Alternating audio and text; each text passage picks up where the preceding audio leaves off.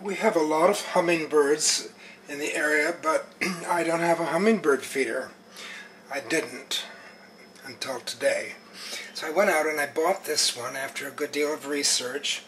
And the reason that I picked this one out is because, first of all, it's got all the red on it, which attracts hummingbirds. And the this part of it, where you put the nectar, is glass, so it's uh, easier to wash it. Plus, everything comes apart, and that makes it easier to wash. And uh, that's important because we don't want to uh, kill all the hummingbirds. Know, I just killed one there. So now I have this all washed, and now I've got to do it over again.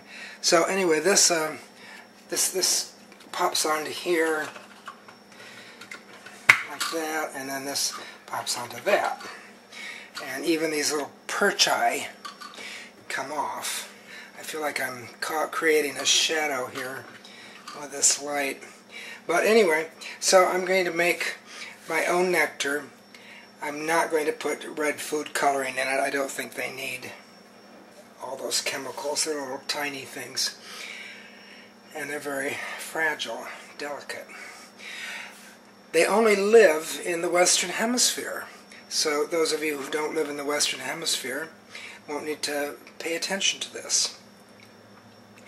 Uh, they're also the only birds that can fly upside down and backwards.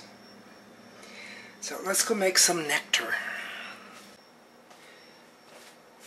That container holds about a cup, so I'm going to put one cup of water in a pan and add one quarter cup of plain white sugar.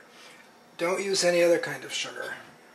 So now we're going to bring this to a boil and boil it for about two minutes.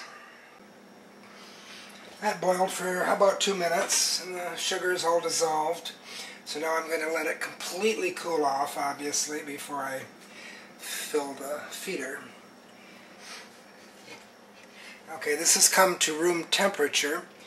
So I'm going to try to pour this in here without making too much of a mess. You don't need to see that part.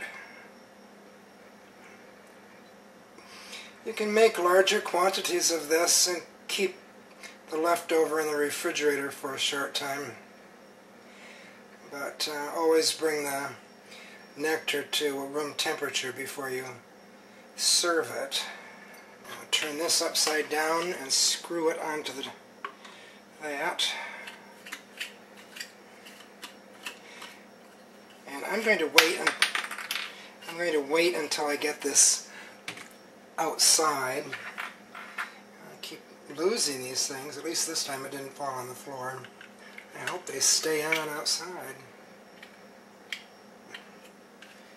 Okay.